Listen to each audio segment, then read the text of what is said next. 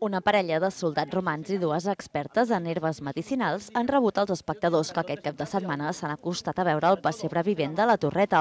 Amb ells han entrat a l'interior d'un immens castell, on els esperava l'espectacle. Però perquè tot estigui llest abans de la representació, cal el treball de 250 persones, molts assajos i molts nervis. Ahir vam començar a muntar tot, avui hem quedat a les 10 del matí, hem assajat hores i hores, avui hem tornat a quedar a les 4 y aquí estem assajant. Bueno, un poco nerviosos porque se acerca ya el, el primer acto y bueno, pues estamos acabando de hacer los últimos retoques, pero yo creo que nos va a salir muy bien. Porque hasta el último minuto realmente no lo sabemos todo bien. Ay, es, es que bien. es muy bonito, es muy bonito, nena.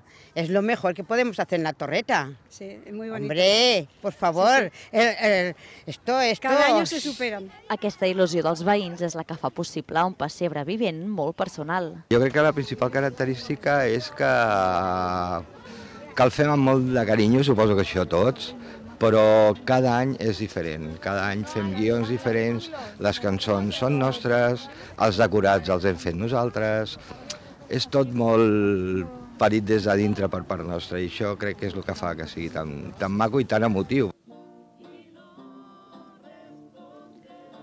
El pessebre vivent s'ha representat les tardes de dissabte i diumenge, però la feina de l'equip tècnic encara no ha acabat. Mira, eh, una vegada s'acaba el pessebre, doncs després tenim doncs, com un mes de feina perquè s'ha de recollir, s'ha de tornar a seleccionar i s'ha de guardar.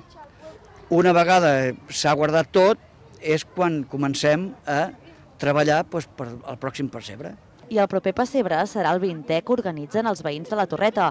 Per celebrar-ho volen convertir el castell que instal·len a la zona de Cantàpies en un escenari 3D.